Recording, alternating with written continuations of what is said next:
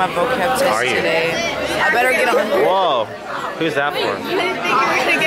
Happy birthday, Luke. I'm extra, okay? Yeah. It's just candy. You are so extra. Oh.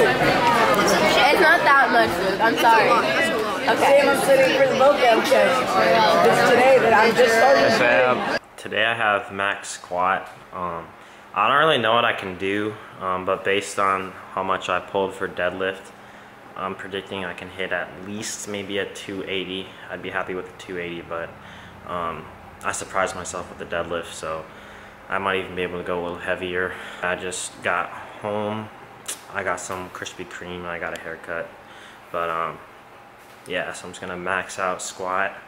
And then I also have some back lever training that I'm gonna do after I do some legs. And then for the rest of the day, I'm probably just gonna like do some homework. And yeah, this is the first Saturday that I don't have cross country in a long time, so it feels good. I gotta sleep in. Um, so yeah, I don't really know what videos are gonna be happening on Saturdays because I'm usually posting cross country highlights and cross country vlogs on Saturdays. But because there's no more meets, I don't know what I'm gonna do. I might have to think of a new idea to post every Saturday.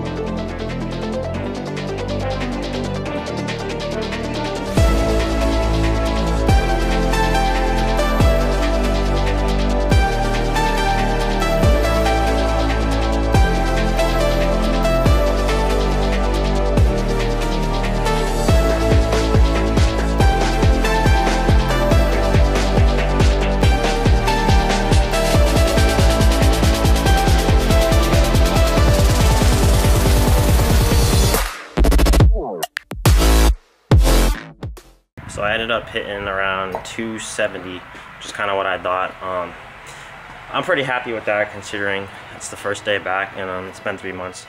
So I lost about 30 pounds on the squat, um, a little more than I lost on the deadlift. Um, but I'm ahead of where I was last year, which is good. My goal is to be around 315 by the time track starts, which gives me around two months um, of really um, hardcore squat training to get there, um, which I think is pretty reasonable. Um, so right now I'm just going to do some curls and leg extensions and then just back lever practice.